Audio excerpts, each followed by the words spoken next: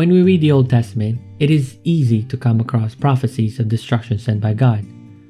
For a long time, I did not understand how a God of love could destroy an entire population. Until one day, someone made me reflect differently about the prophecies of destruction found in the Bible.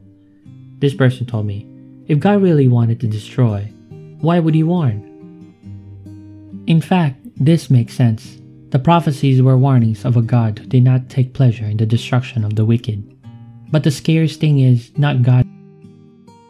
Despite various warnings, did not change course. In chapter 3 of the book of Isaiah, we find an alert against the destruction of approaching Jerusalem. But in the midst of tragedy, hope comes. The prophet speaks of the restoration of Jerusalem and of the remnant that will be saved.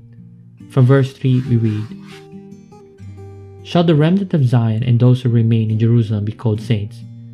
All who are enrolled in Jerusalem for life, when the Lord shall wash away the uncleanness of the daughters of Zion, and cleanse Jerusalem from the guilt of the blood thereof, with the spirit of righteousness and the purifying spirit. You know, one thing the Bible makes clear no one will get lost for lack of warnings. Alerts are sent repeatedly to all men in various ways, announcing that destruction is approaching. Unfortunately, many listen but do not care. They ignore the many signs that show that something is wrong. But happy are those who hear and accept the warnings. These are part of the remnant of Zion, those who will stand before the judgment of God.